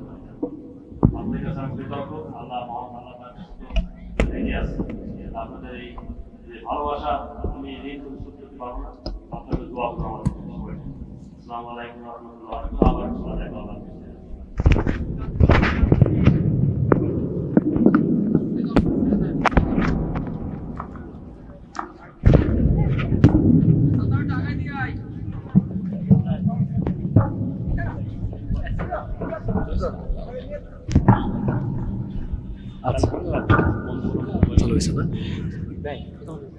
আল্লাহ তালা এমপি সাহেবকে কবুল করেন, আল্লাহ তাকে সুস্বাস্থ্য এবং নেক হায়াত দান করেন, আমরা সবাই বলি আমেন। আমি বলছিলাম, এই রমজানকে আমরা জীবনের শ্রেষ্ঠ রমজান হিসেবে কাজে লাগানোর জন্য আসুন আমরা সবাই দশটা কাজ এই রমজানে করি। জোরে বলেন কয়টা কাজ? দেখবেন প্রত্যেকের জীবনের শ্রেষ্ঠ রমজান হবে এই বছরের রমজান ইনশা আল্লাহ যারা পারেন, নোট করে নিয়ে যাবেন। আপনাদের অনেক বেশি কাজে লাগবে এবং রমজান এবছর অনেক সুন্দর হবে পরে ইনশা আল্লাহ এক নাম্বার, পাঁচ ওয়াক্ত সলাপ জামাতের সাথে আদায় করবেন। অনেকে আছেন, রমজান মাসে রোজা রাখেন, পাঁচ ওয়াক্ত নামাজ আদায় করেন না। রোজা কয়টা ফরজ? একটা ফরজ। একদিনে একটা রোজা রাখলাম, কয়টা ফরজ আদায় করলাম? একটা। আর প্রতিদিন নামাজ পাঁচ ওয়াক্ত, কয়টা ফরজ? তো এক ফরজ আদায় করতে গিয়ে আপনি কি পাঁচটা ফরজ ছেড়ে দিবেন?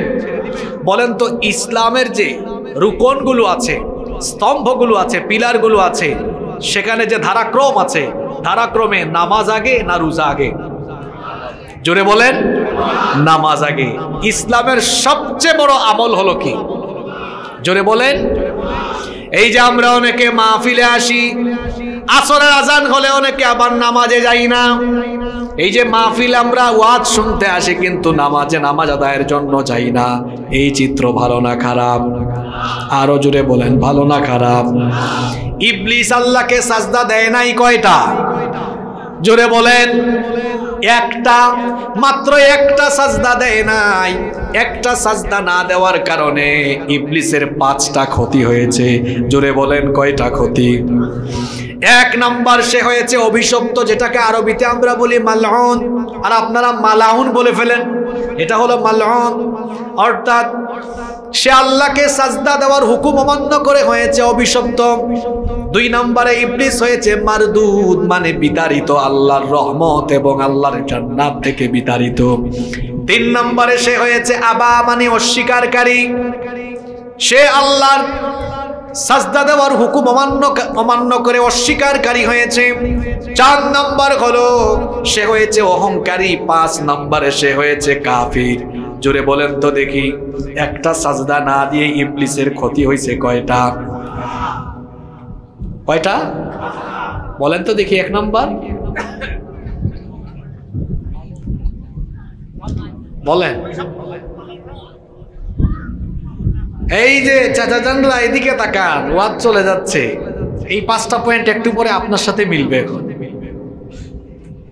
এক সাজদা না দিয়ে ক্ষতি হয়েছে কয়টা? আবার বলছি, একটু পরে মুখস্থ শোনাইতে হবে, পুরা ওয়াজ মনে রাখেন আর না রাখেন। আজকে এটা মুখস্থ করে দিতে হবে। এক নাম্বার মালন অভিশপ্ত, দুই নম্বরে হয়েছে মারদুদ মানে বিতাড়িত, তিন নম্বরে সে হয়েছে অস্বীকারী চার নম্বরে সে হয়েছে অহংকারী, পাঁচ নম্বরে সে হয়েছে কাফের। এক সাজদা না দেওয়ার ক্ষতি হয়েছে কয়টা? এক নাম্বার অভিশপ্ত, যারা এখন আজান শুনে মসজিদে যায় না, এরাও হচ্ছে আল্লাহর অভিশপ্ত বান্দা। এরা কি? অভিশপ্ত না রহমত প্রাপ্ত জোরে বলেন। দুই নম্বরে ইবলিস হয়েছে বিতাড়িত। যারা আল্লাহকে আজান শুনলে সাজদা দিবে না, নামাজে যাবে না, এরাও হবে জান্নাত থেকে বিতাড়িত। নামাজ ছাড়া জান্নাতের গন্ধ পাওয়া যাবে? অনেকে আছে, কই, হুজুর, আমি নামাজে না গেলে কি হবে? আমার ইমান ঠিক আছে। আর নবীজি বলেছেন, যার মধ্যে নামাজ নাই, তার মধ্যে ইমানই তো থাকলে না ঠিক থাকে? এটা তো নাই, ঠিক থাকে কেমন? তিন নম্বরে, ইবলিস হয়েছে অস্বীকারী ওই যে সূরা বাকারার 34 নম্বর আয়াতে আল্লাহ বলেছেন, ওয়া ইয কুলনা লিল মালাইকাতি ইসজুদু লি আদামা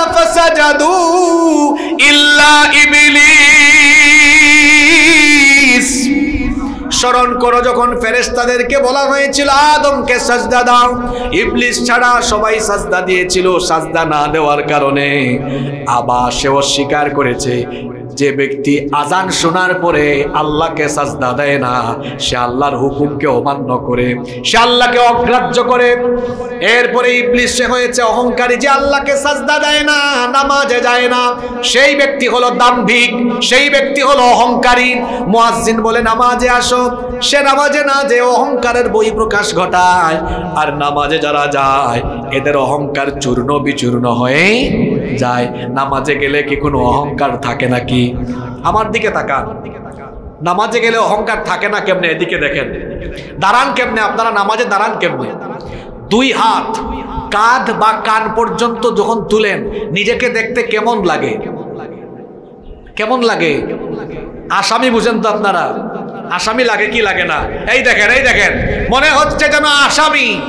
একটা গুলাম তার মালিকের সামনে আসামির মতো গুলামের মতো দাঁড়িয়ে গিয়েছে। অহংকার যায় কোথায় দেখেন না? এরপরে যখন সে তাকবিরে তাহরিমা বাতলো তখন কি বুক ফুলাইয়া দাঁড়ায় নাকি মাথাটা নিচু নিচু করে দাঁড়ায়? এই দৃশ্য দেখে মনে হয় গুলাম যে গুলামের মতোই দাঁড়িয়েছে। অহংকার? একটু পরে অহংকার চূর্ণ বিচূর্ণ হয়ে যাবে। আল্লাহ আকবার! রুকুতে যখন গেলেন, মাথা আর একটু ঝুঁকে গেল। আল্লাহ বলেন, রাখ, তোর অহংকার আমি শেষ করতেছি। যখন রুকু থেকে উঠে ইমাম সাহেব সাজদায় চলে যান, আল্লাহ আকবার। নাক আর কপাল তখন মাটিতে লুটিয়ে পড়ে।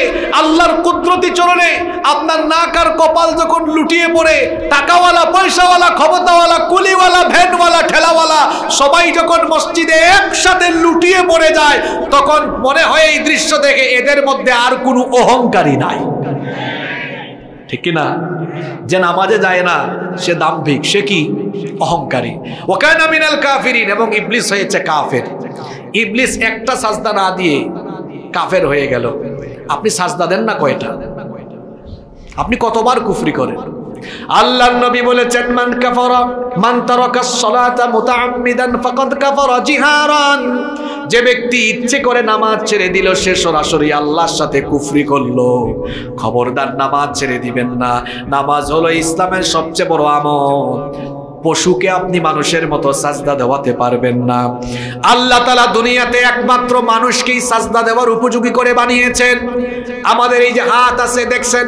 কি সুন্দর এগুলোকে একদম গুটিয়ে ফেলা যায়, আবার এগুলোকে ছড়িয়ে দেওয়া যায়। শরীরের জয়েন্ট আছে প্রত্যেকটা জায়গায়, জয়েন্ট দেওয়া হয়েছে, জোড়া দেওয়া হয়েছে, যাতে করে আমরা রুকু দিতে পারি, সাজদা দিতে পারি, অন্য কোনো পশু পাখিকে, কোনো প্রাণীকে আল্লাহ মানুষের মতো করে এত জোড়া দিয়ে, এত সুন্দর ডিজাইন করে বানান নাই। আপনি আপনার বাড়িতে গিয়ে গরু, ছাগলকে মানুষের মতো, মানুষের কায়দায় সাজদা দেওয়াতে পারবেন নাকি? পারবেন? কোন পশুকে বাঘকে ভাল্লুককে মানুষের মতো সাজদা দেওয়াতে পারবেন? কোন পশু মানুষের মতো সাজদা দিতে পারে না। যে মানুষকে বানানো হয়েছে সাজদা দেওয়ার জন্য, ওই মানুষ মানুষ হয়েও যখন আল্লাহকে সাজদা দেয় না, তার মাঝে আর পশুর মাঝে কোনো পার্থক্য থাকে না। সে মানুষ তুমি একটা পশু, ও পশুর চেয়ে খারাপ। ওকে বানানো হয়েছে সাজদা দেওয়ার জন্য। ও আল্লাহকে সাজদা দেয় না। অনেক যুবকরা আছে, নামাজে যায় না। কয়, বুড়া হই। দুনিয়াতে আসার সময় সিরিয়াল মেনটেন হয়। যাওয়ার সময় কোনো সিরিয়াল মেনটেন হয় না। আমাদের মসজিদগুলো এখন পাকা, কিন্তু মুসল্লির অভাবে মসজিদ ফাঁকা। আর নবীজির সময়ে মসজিদ ছিল কাঁচা, কিন্তু মুসল কিন্তু মুসল্লি ছিল বড় পাকা, আজান হলেই মসজিদ। আল্লাহ নবী বলেছেন, আখেরি জামানায় অবস্থা এমন হবে মাসাজিদা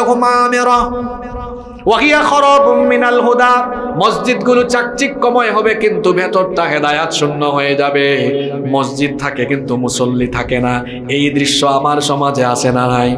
আজকে জুমার নামাজে পুরা মসজিদ ভর্তি ছিল, আসরের নামাজে দেখবেন দশ ভাগের এক ভাগও হয় না। আবার মাহফিলে যারা ঠিক ঠিক বলে, এদের মধ্যে অনেকের নামাজ ছাড়ার অভ্যাস আছে না নাই? যারা মাহফিলে বসে ওয়াজ শুনে, যখন বলা হয় এখন নামাজের জামাত হবে, তখন দেখবেন কেমন দৌড় আরম্ভ হয়। মাহফিলে ঠিকই আসে, কিন্তু নামাজে আসে না। সারা জীবন ওয়াজ শুনে কোনো ফায়দা হবে না যদি নামাজ ঠিক করতে না পারেন। ইসলামের সবচেয়ে বড় ইবাদত হলো, নামাজ বলছিলাম রমজান মাসে দশটা কাজ করবেন। দেখবেন গোটা জীবনের জন্য চরিত্র ঠিক হয়ে যাবে। এক নম্বরে পাঁচ ওয়াক্তের নামাজ জামাতের সাথে আদায় করবেন। আল্লাহ তৌফিক দেন বলেন, আমিন। দুই নম্বর তারাবিহের নামাজটা যথাযথভাবে আদায় করবেন। তিন নম্বর, যখন সাহারি খাবেন সাহারি তো খাইতেই হবে। সাহারি খাওয়ার সময় চোখ কচলায় কচলায় উঠে খাইতে বসিয়েন না। তখন ভালো করে খাওয়াও যায় না। এক ঘণ্টা আগে উঠেন, রমজানের তিরিশটা দিনে একটা অভ্যাস তৈরি করেন তাহাজ্জুদের। ফরজ নামাজের পরে আল্লাহর কাছে সবচাইতে পছন্দের নামাজ হলো তাহাজ্জুদের নামাজ। এই যে আমরা রাতের বেলা অনেকের রাত কাটে আর্জেন্টিনা ব্রাজিলের খেলা দেখতে দেখতে, অনেক যুবকের রাত কাটে। সিনেমা দেখতে দেখতে থ্রিলার ওয়েব সিরিজ দেখতে দেখতে আর আল্লাহ তালা কোরআনে কারিমে বলেছেন আমার প্রিয় বান্দা জান্নাতি বান্দাদের রাত কাটে কেমনে আল্লাহ তালা সূরা ফুরকানে বলেছেন ওয়া ইবাদুর রহমানিল্লাযীনা ইয়ামশুনা আলাল আরদি হাউনা ওয়া ইযা খাতাবাহুমুল জাহিলুনা ক্বালু সালামা والذين يبيتون لربهم سجدا وقياما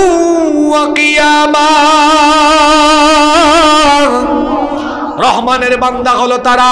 রাতের বেলা তামাশা না করে, রাতের বেলা ফুর্তি না করে রুকুয়ার সাজদা দিয়ে রাত কাটিয়ে দেয় যারা।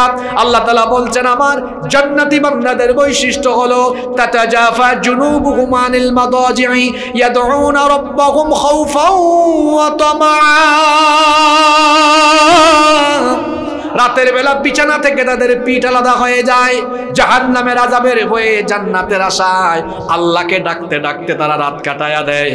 অন্য আয়াতে আল্লাহ বলেছেন, কানু কলিলাম মিনাল লাইলি মা ইয়াহজাউন, ওয়া বিল আসহারি হুম ইস্তাগফিরুন রাতের বেলা খুব কম ঘুমায় তারা। ইস্তেকফার করে করে রাত কাটায়া দেয়। আমি আপনি অনেকের অভ্যাস হলো ঘুমাতে ঘুমাতে গাল ফুলাইয়া দেয়। আমি আপনি ঘুমাতে ঘুমাতে শরীর ফুলে যায়। আর আমাদের নবী রাতের বেলা তাহাজ্জুদের নামাজে দাঁড়িয়ে থাকতে থাকতে তার পা ফুলে যায়। আল্লাহ আকবার! আমাদের মা এই হাদিস বর্ণনা করেছেন আম্মা জান আয়েশা রাদিয়াল্লাহু আনহা। তিনি বলেছেন, কানা ইয়াকুমু মিনাল লাইলি হাত্তা তানফাতারা কদামা। আল্লাহর নবী রাতের বেলা এত দীর্ঘ সময় তাহাজ্জুদের নামাজে দাঁড়িয়ে থাকতেন। দাঁড়াতে দাঁড়াতে আল্লাহর নবীর পা ফুলে যেত। তাহাজ্জুদের অভ্যাস আমাদের অনেকের ভেতরে নাই। তাহাজ্জুদের নামাজ হলো দুনিয়ার সকল নেককার ব্যক্তিদের সিক্রেট আমল। রাতের বেলা রাতের বেলা একটা বিরাট সময় অথবা অল্প সময় তাহাজ্জুদের জন্য বরাদ্দ করে রাখুন। অনেক ব্যক্তি আছে, ঘুমাতে ঘুমাতে অবস্থা খারাপ। আবার অনেকে আছে না ঘুমায়া ঘুমায়া চেহারাটা নষ্ট করে দেয়। যাদের জীবনে তাহাজ্জুদ আছে, তাদের চেহারার মধ্যে নূর আছে। আল্লাহওয়ালা বুজুর্গ ব্যক্তিদের সান্নিধ্যে যখন যাবেন কাছ থেকে যখন দেখবেন দেখবেন এরা রাতের বেলা এক, দুই ঘণ্টার বেশি ঘুমাইতে পারে। এত কম ঘুমানোর পরেও আল্লাহর বান্দার চেহারার দিকে তাকালে দেখবেন, চেহারা থেকে যেন মনে হয় নূর ঝরছে। আল্লাহওয়ালা বান্দাদের চেহারার মধ্যে একটা মায়া দান করে দেন কে? অনেক মানুষ এটা দেখবেন এসি গাড়িতে চড়ে এসি বাড়িতে থাকে, ভালো ভালো খাবার দাবার খায়, কিন্তু এরপরেও চেহারাটা দেখলে দেখবেন, দেখতে মনে হয় চোরের মতো লাগে, কারণ খায় তো মানুষের মাল। আর কিছু ব্যক্তি আছে, দেখবেন টাকা নাই, পয়সা নাই। নর্মাল চলাফেরা চেহারার মধ্যে কালো হলেও চামড়া চেহারায় হালো আছে। আল্লাহওয়ালা বুজুর্গ ব্যক্তিদের আমল হলো তাহাজ্জুদের নামাজ। আল্লাহ নবী বলেছেন, আলাইকুম বিকিয়ামিল লাইল। রাতের নামাজকে তোমরা তোমাদের অভ্যাস বানাও, আমল বানাও। এটা তোমাদের পূর্ববর্তী নেককার ব্যক্তিদের আমল ছিল। যদি এই আমল তুমি তোমার মধ্যে ডেভেলপ করতে পারো ওয়াহুয়া ইলা রব্বিকুম। এই আমল তোমাকে তোমার রবের একেবারে নিকটবর্তী করে দিবে। যারা রয়, দু চোখের শ্রুতে নদী যেন বয়।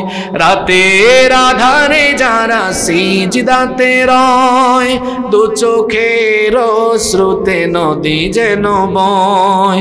ছলনার হাত ছানি যত আসুক, পেছনে ও তাকায় না। যাদের হৃদয়ে আছে আল্লাহর ভয়, তারা কবু পথ ভুলে যায় না। আল্লাহর প্রেম ছাড়াই দুনিয়ায় কারও কাছে কোনো কিছু চায় না।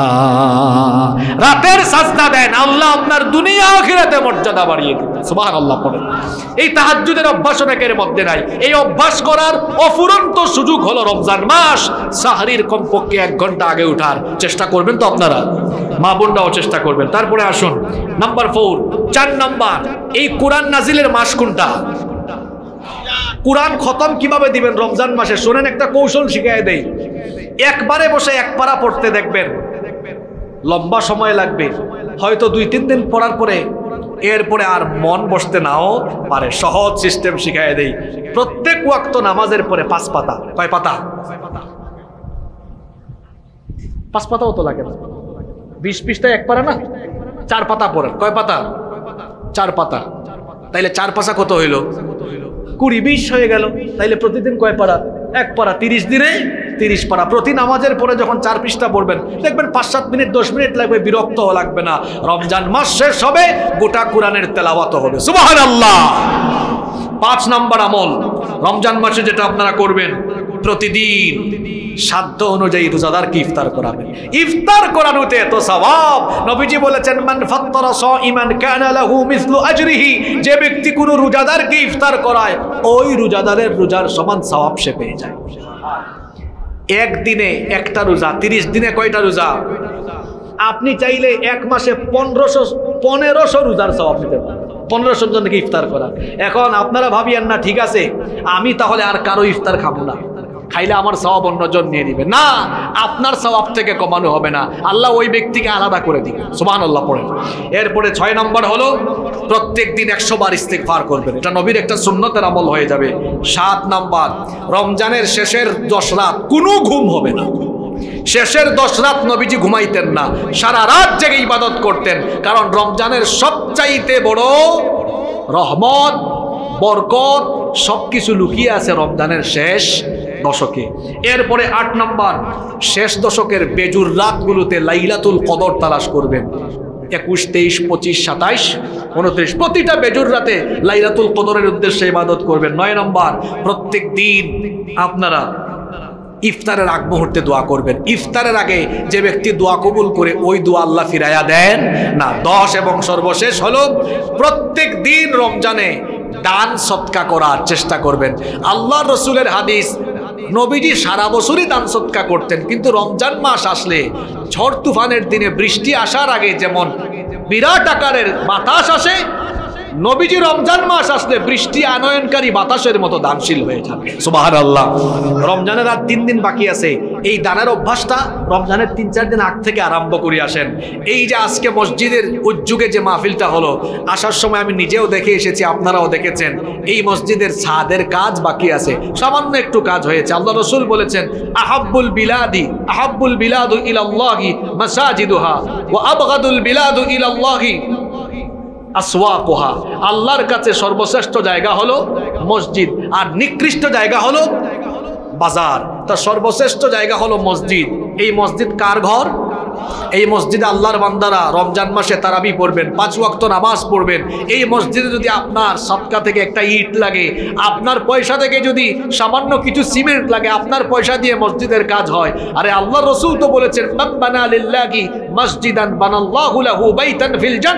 যে ব্যক্তি দুনিয়াতে আল্লাহর ঘর মসজিদ বানায়, অর্থাৎ মসজিদ বানানোর কাজে সহযোগিতা করে, আমি আল্লাহ আল্লাহ রসুল বলেছেন, আল্লাহ তার জন্য জান্নাতে প্রাসাদ বানান। সুবহানাল্লাহ, পড়বেন না? আমরা রমজানে দান সৎকার অভ্যাস আজকে থেকে তৈরি করতে পারব না ইনশাআল্লাহ।